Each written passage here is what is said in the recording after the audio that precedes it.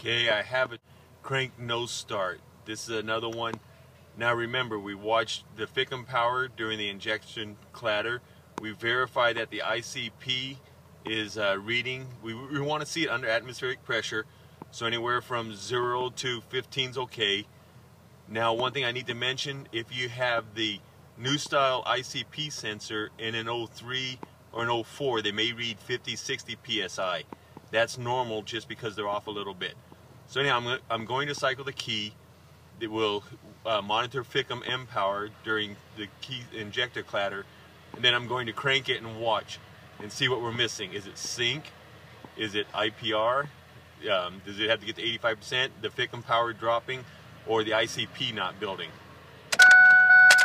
So there's a key on. The injector's clatter is good. We've got the 48 volts, at least during clatter. Remember, it doesn't start, so we can't check it there. I'm going to crank it now, glow plug lights out. Going to crank it and watch my ICP, IPR, and FICM power, and the sync, of course.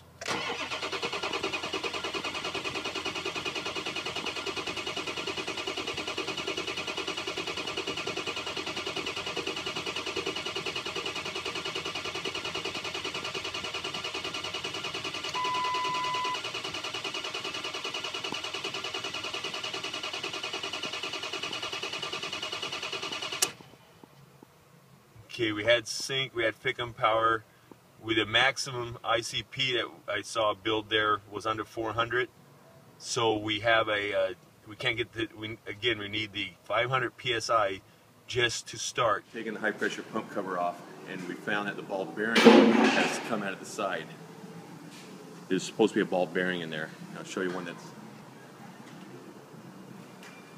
here's a good one, compare it to and then here's the one that's out of the truck. So all the pressure was bleeding off here out of the side and dumping, and the truck became a no start to where it wouldn't go to the pressure. So anyhow, I found the pump bad on this. Um, question I get people to ask is, can I tap it out? Yes, we have done that before.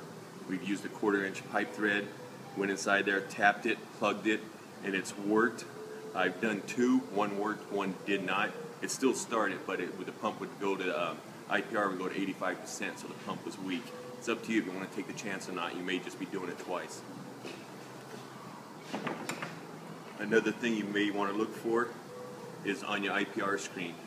Make sure that it's not damaged. If you see any damage to the screen, it doesn't matter if it's contamination or if it's a uh, where the screen's actually done like that Try your IPR first before you pull the pump cover off, but always take your IPR valve out, look at it, if the screen's damaged or contaminated in any ways, try this first, that could be your problem with it. Last thing I want to go over, if you have the 04 style, the 03 style, you can't get it off without taking the intake off. So you had to pull the complete turbo intake off on the 03. The 04, you can pull just the turbo off, and you can remove the cover here without pulling off the intake and the EGR cooler and all that. You do just have to remove the, the, the turbo. Two things we use on that is one, it's a long snap-on 8 millimeter wrench.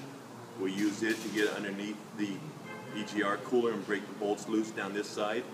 This is one way.